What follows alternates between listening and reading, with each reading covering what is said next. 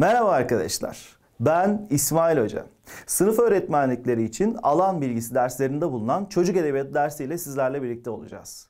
Olabildiğince size bu dersi ayrıntılarıyla aktarmaya çalışacağım. Her yıl alan bilgisi test testlerinden sınavında en az 3 soru gelmekte ve biliyorum çok fazla alan bilginiz olsa da emin olun rahat bir şekilde size bu dersi aktarmaya çalışacağız. Çocuğu tanıyacağız, edebiyat tanıyacağız. Sonra bunların hepsini birleştirip tarihsel sürecinde gelişimlerine bakacağız. Eserleri inceleyeceğiz ve çok güzel bir ders olacağına inanıyorum. İsterseniz derse başlayalım.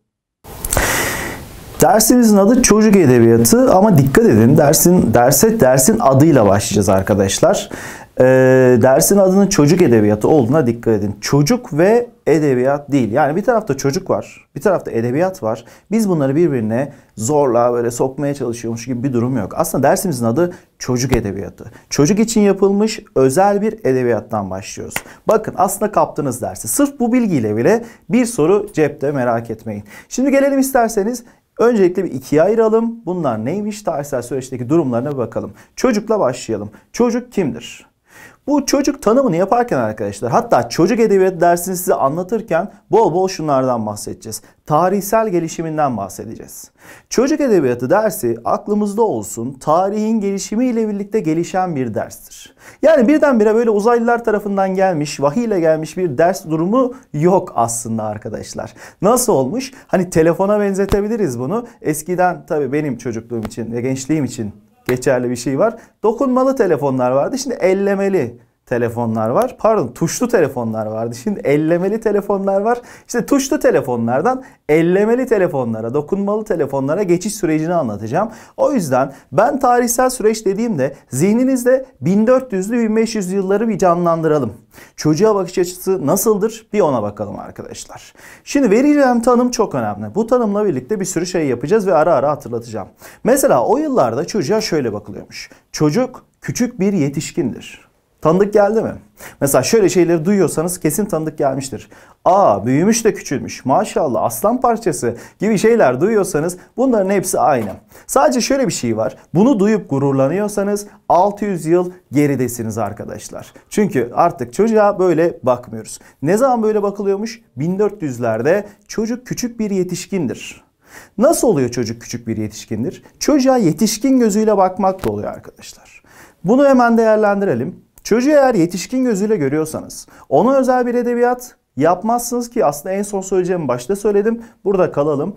Onunla ilgili herhangi bir kıyafet seçimi yoktur. Ona özel bir oyuncak, eşya yoktur. E nasıl oluyor? Yetişkin kıyafetleri giydirilen bir çocuktan bahsediyoruz. Hemen aklına geldi değil mi? Geçen hafta kuzeninin düğünde ortada gezen çocukları görüyorsun. Gelinlik giydirilmiş kızları hatırla. Ya Türkiye o zaman bir 600 yıl geride miyiz? Yok hemen yüklenmeyeceğim merak etmeyin. Ama bunu bol bol hatırlatacağım. Küçük bir gelinlik giydirilmiş. Kız çocukları papyon takılmış, takım elbiseye sokulmuş erkek çocuklarından bahsedeceğiz. İşte bu çocuğa yetişkin gibi bakmaktır. Hatalı mıdır? Çok. Az sonra döneceğiz. Daha sonra tarihsel süreçte birlikte teknoloji gelişmiş. Çocuğun hakları ortaya çıkmış. Adı da Çocuk Hakları Sözleşmesi. Bu neden önemli arkadaşlar? Bizim edebiyatımız tamamen çocuk hakları sözleşmesine dayalı. Yani çocuk edebiyatı bunu baz alıyor. O zaman burada bir önemli madde var. Hepiniz biliyorsunuz. 18 yaşından küçük herkes çocuktur. Kesin şurada bir yerde yazıyordur. Tekrar söyleyelim. 18 yaşından küçük herkes çocuktur ve çocuk kalmalıdır diye tamam e, e, herhangi bir slogan var olayına girmeyeceğiz ama bunu bilmekte fayda var. Ve geçelim. Bir de çocuk edebiyatçıları çocuğa nasıl bakar? Bu çok kolay olacak.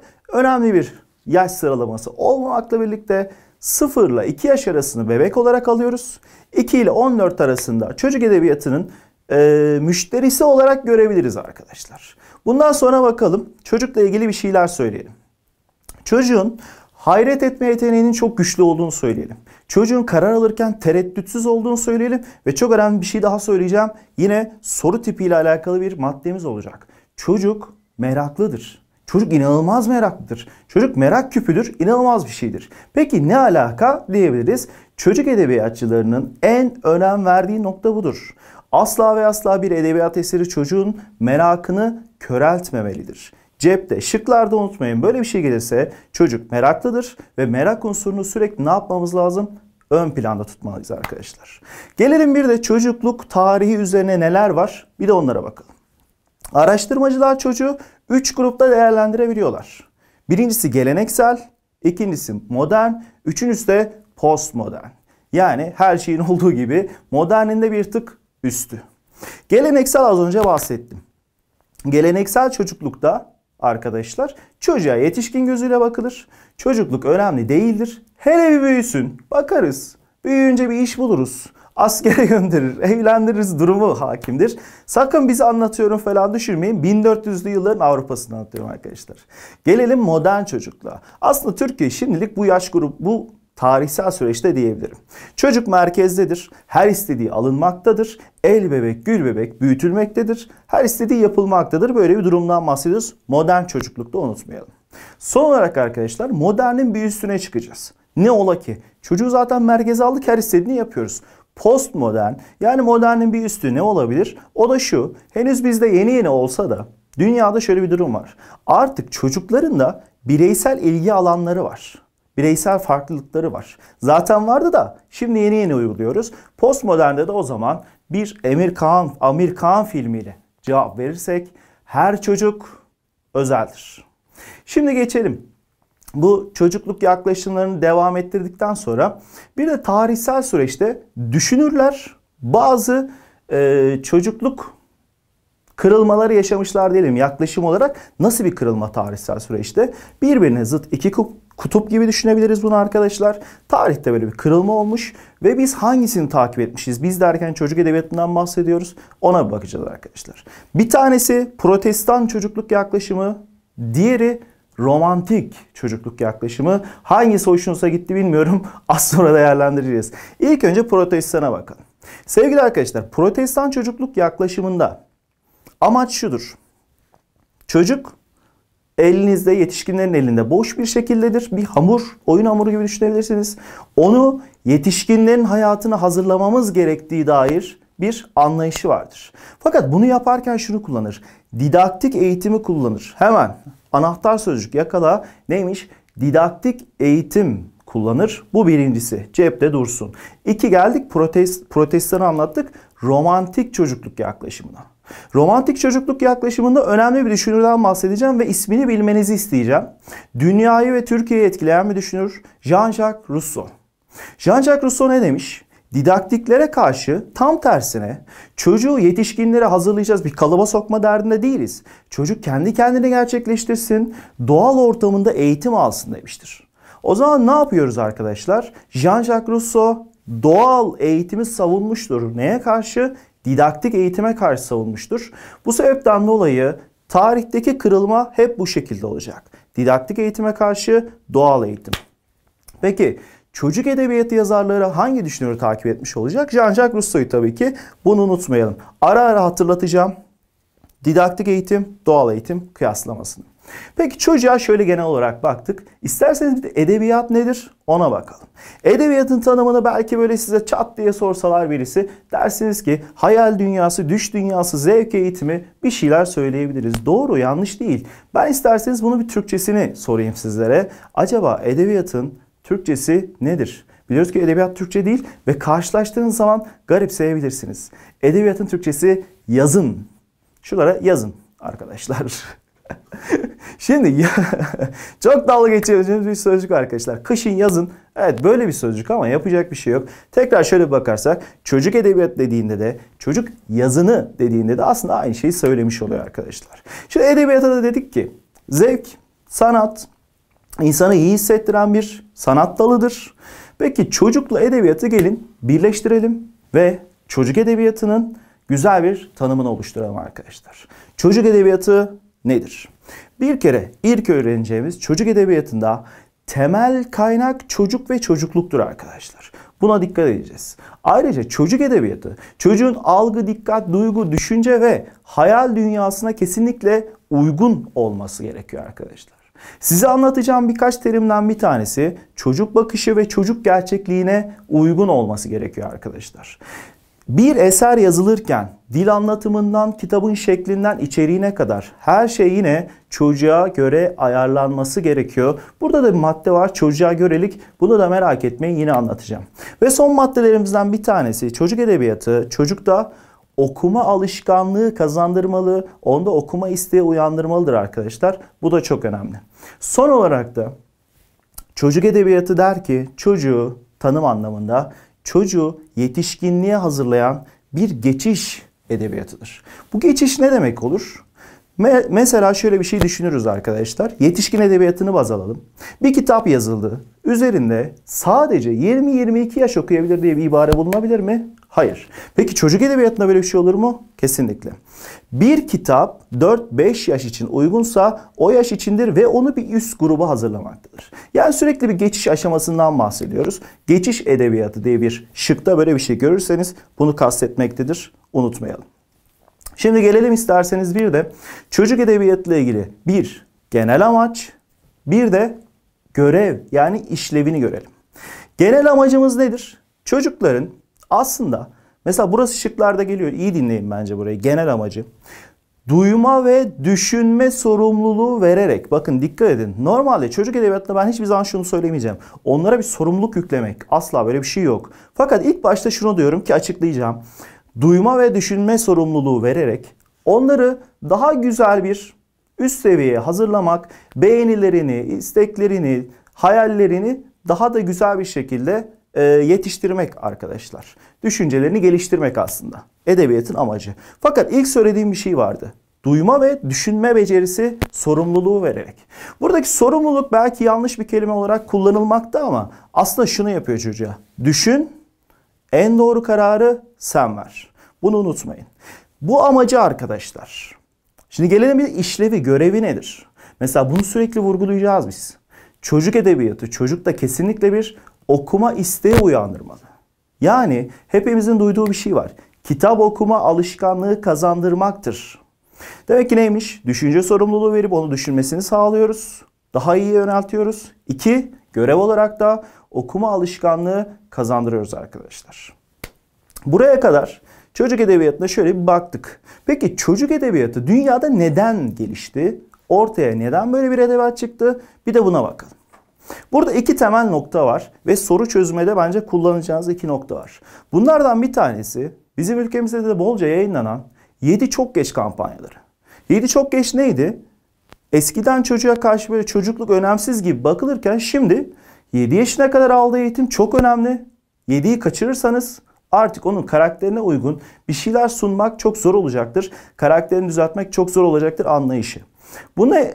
bu nasıl bir yerden çıkmıştır arkadaşlar. Bir kere psikoloji ve tıp alanında gelişmeler. Maddeler bu şekilde gelebilir, şıklar bu şekilde gelebilir. Dikkatli olalım. Fakat çocuk edebiyatını geliştiren en önemli ikinci madde şu an söyleyeceğim madde ve çok önemli. Hazır olun. Notlar hazırsa söylüyorum. Söylediğimde diyeceksiniz ki bu muymuş? Evet buymuş. O da arkadaşlar ihtiyacın artması. Nasıl oluyor ihtiyacın artması? Evde anne baba bakıyorlar çocuklarına. Komşunun kızı, komşunun çocuğu kitap okuyor. Aa diyor hanım bizimki okumayacak, bizimki salak kalacak. E ne yapalım? Hadi gidelim kitapçıya. Kitapçıya gidiyorlar baba diyorlar bize bir kitap ver çocuk bir okusun. Kitapçı bakıyor kitap yok. Yayın evini arıyor. Diyor ki müthiş müşteri var. Pazar müthiş. Buraya bize kitap lazım. Kitapçı da doğal olarak hemen hızlı bir şekilde yazarlarla birlikte çocuk kitabı basıyor. Buradan biraz çıkarımlarda bulunalım. Hızlı bir şekilde basılan çocuk kitaplarında nitelik olur mu? Olmaz. Tabii ki nitelikli eserler aralarda var. Bu bir. İkincisi acaba günümüzde çocuk bir tüketim maddesi olarak, malzemesi olarak mı görülmektedir? Yani anlayacağımız dille para olarak mı görülmektedir? Evet. Doğru yoldasın. Çözdün. Şıkta bunu görürsen ki göreceksin bunu kaçırma. Bu da arkadaşlar çocuk edebiyatının gelişimiydi. Son olarak isterseniz bir de çocuğun gelişiminde nelere ihtiyacımız var? Maddelerle buna bakalım. Mesela okuma alışkanlığı geliştirmekte önemli etkenler nedir? Önemli etkenlerden ilki çocuğun okuduğu ilk kitaptır. Soruyu soruyorum ki cevabı vereceksin. Bir çocuk nitelikli bir eser okursa çocuğu kitabı sever mi? Cevap Sever. Peki kötü bir kitapla tanışırsa kitap okumayı sever mi? Hayır. O zaman madde bir. İyi bir kitapla tanışması yani ilk kitap. İkincisi arkadaşlar ailenin ve öğretmenin rol model olması. Yani okuma alışkanlığı kazanmada ilk kitap çok önemli. Ailenin ve öğretmenin rol model olması çok önemli ki öğretmen derken ara ara size vurgu yapacağım. Sizler rol model olacaksınız. Ne yaparak? Kitap okuyarak. Üçüncü maddemizde arkadaşlar çocuğun kütüphanelere, kitapçılara, okuma salonlarına götürülmesi. Bunlar arkadaşlar okuma alışkanlığı kazandırmadaki maddelerimiz. Gelelim bir de dil gelişimine. Dil gelişimi açısından çocuk edebiyatını değerlendirirsek. Yine birkaç madde de bakalım buna. Birincisi dil gelişimi nerede başlıyor? Ailede başlıyor. O zaman ne yapıyoruz? Ailede başlayan dil gelişimini yine nitelikli eserlerle destekliyoruz.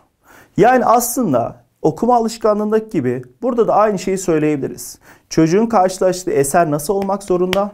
Nitelikli eser olmak zorunda. Bunu kim seçecek? Anlatacağım. Hep birlikte seçeceğiz.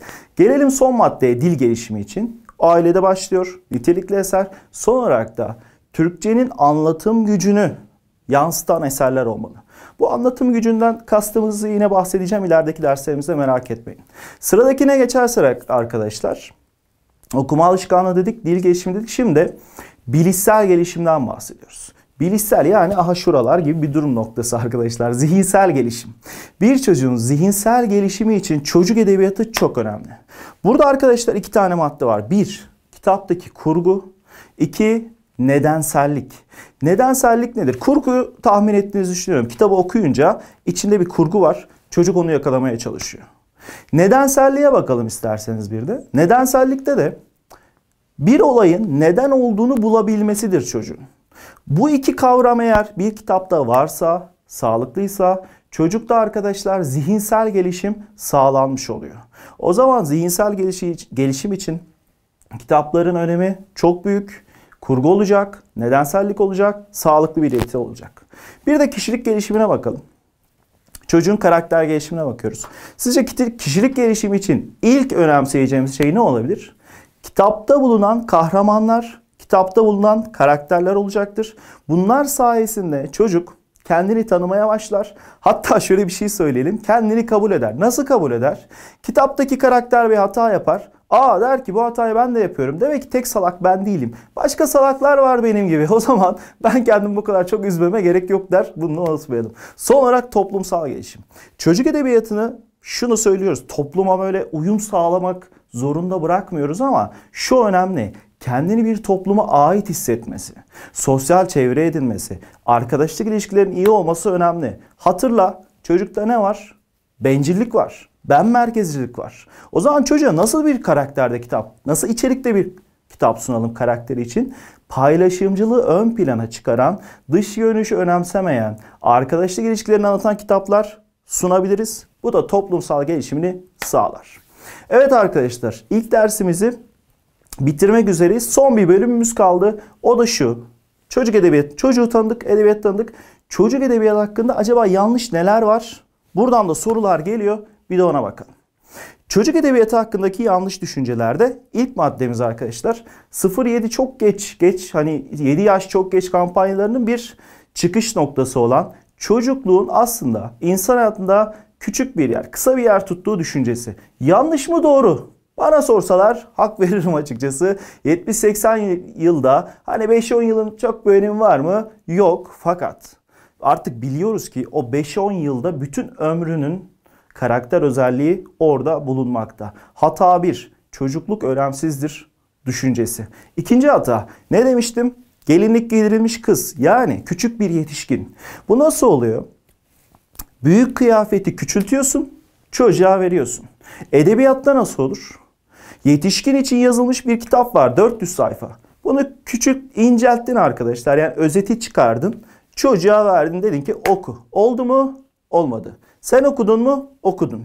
Sefilleri okudun Victor Hugo'dan. Kitap 700-800 sayfa. Senin okudun 150 sayfa. Sen zannediyorsun ki Sefilleri okudun. Hayır. Suyunun suyunun suyunu okudun.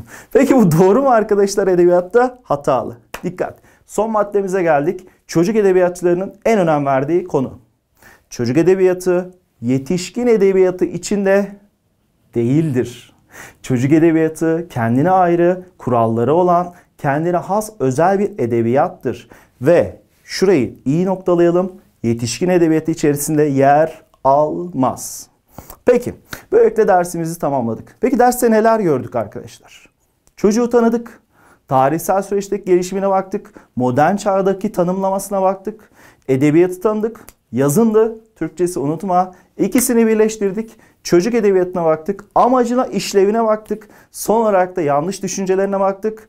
Ders anlamadığın nokta varsa geri sar. Bir daha dinle. Onu da ben anlatmayayım. Bir sonraki derste görüşmek üzere. Hoşçakalın.